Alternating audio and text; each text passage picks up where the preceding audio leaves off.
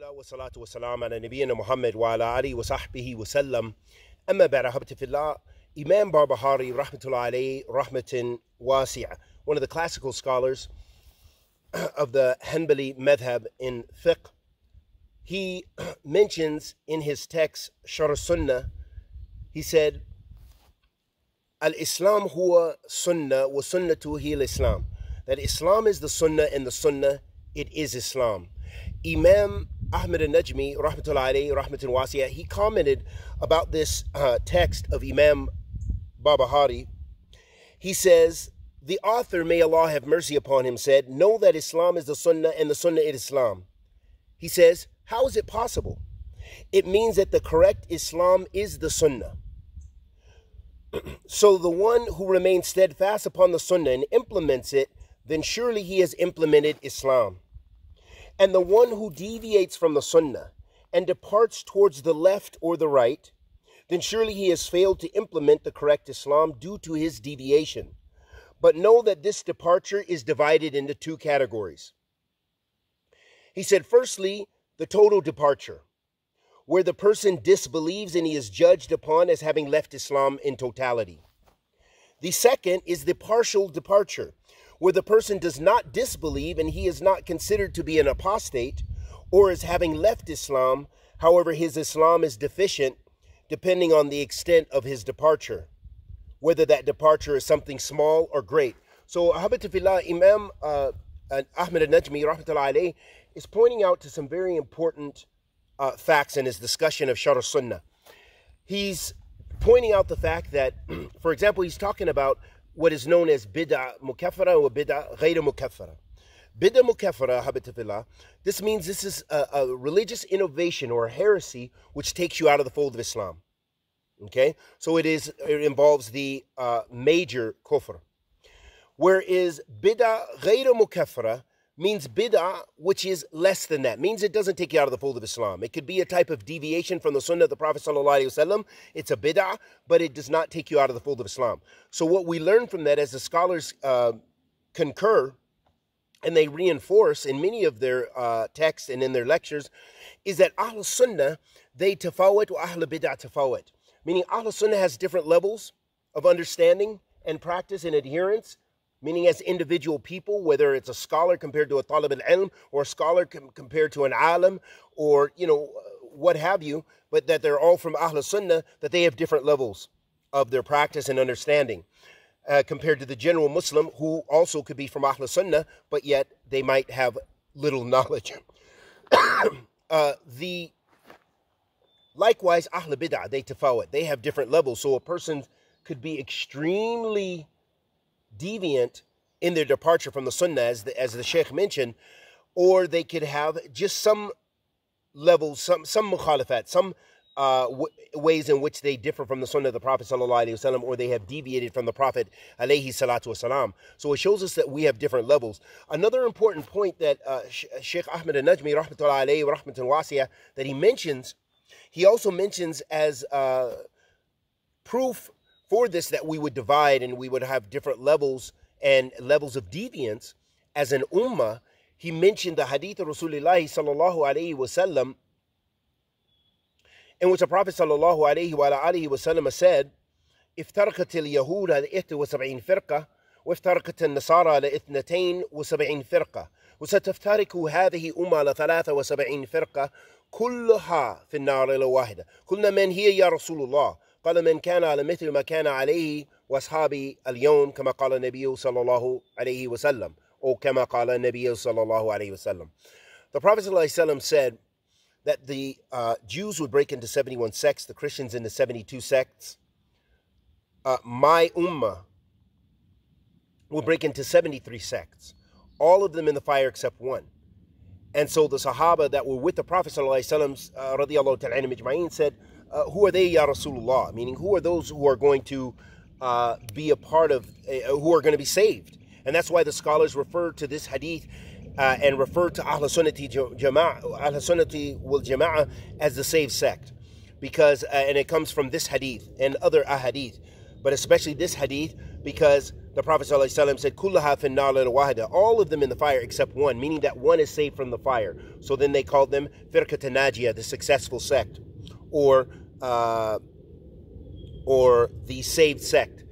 Uh, and so the Sahaba radiallahu ta'ala they said, uh, who are they, Ya Rasulullah? Meaning, who's going to be saved from the fire? Who's the one? Because we want to be from them. We want to be on what they're upon. We want to do what pleases Allah subhanahu wa ta'ala, which displeases the shaitan, which goes against the shaitan and his path and the path of deviance. So the Prophet ﷺ said, uh, Men kana ala mithli ma kana alayhi wa ashabi al or something similar to this. The Prophet ﷺ, because there's different riwayat of this hadith, that the Prophet ﷺ said, Those who are upon what I'm upon and what my Sahaba are upon uh, today. So it lets us know, Habitabillah, that the success would come from sticking to the main body of the Muslims and clinging to the book and the sunnah of the Prophet ﷺ. And that means that many groups from amongst the Muslims would be uh, mustahik linnar, lidukhul nar that they would rightfully be uh, warranted to enter the hellfire, according to this hadith. And so Sheikh Ahmed al-Najmi here, rahmatullah alayh, is mentioning the fact that that although they are uh, threatened with the, the punishment, there's th- the threat of wa'id, that doesn't mean we judge on every individual from that group or sect that they're going to the hellfire. That's a very important point, and that's what I wanted to really bring up here to give us some insight into this mas'ala. Uh, so we don't say that someone so's with Jamaat Tabligh, he's going to hell. We say that Jamaat Tabligh, we believe they are uh, a, a, a, a Jama'ah bid'iyah, that they are an innovated group, not a sect, but a group. And I've talked about this in prior lectures about the difference between a sect and a group, uh, a, a hizb. And this is not the place for that, but I've talked about it many times. Uh, and so what you you have is you have groups like Ikhwan Muslimin and so forth. So someone could be a card carrying member of Ikhwan Muslimin. You can't say he's going to the hellfire, nor can you say someone just because they they are Salafi or they claim to be Salafi that they're going to the, the paradise. No, or they claim to be from Ahl Sunnah. No, you can't say that he's going to Jannah. But what it means is that they are bi'idnillah ta'ala on the path of Jannah if they are from Ahl Sunnati wal Jama'ah because that's where their aqidah, their aqidah is based in that, and their methodology for understanding the religion and how they approach the divine text is based on uh, the book in the Sunnah, uh, or is based on the madhab of the Salaf Salih, Ridwanullahi alayhim.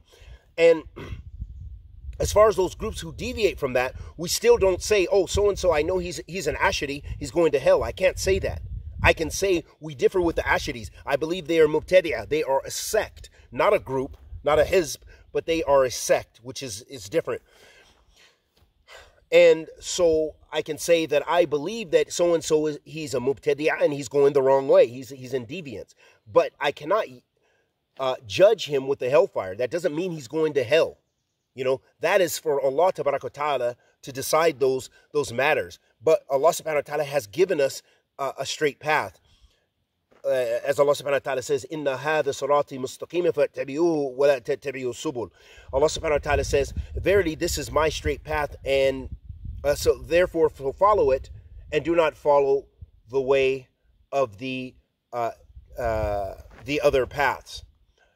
And there's so many ahadith and so many ayat which also show us the importance of being one body and not deviating. For example, Allah subhanahu wa ta'ala says in Kitab al-Kareem, وَاعْتَسِمُوا بِحَبْلِ اللَّهِ جَمِيعًا وَلَا تَفَرَّقُوا Hold on, all of you steadfast to the rope of Allah and do not divide. So here Allah subhanahu wa ta'ala is saying that we as an ummah, we have to unite. But this is the difference between us and, for example, Ikhwan al-Muslimin and some of the other groups is we say that we have to, as Allah subhanahu wa ta'ala says, we say that we have to unite on the hablillah.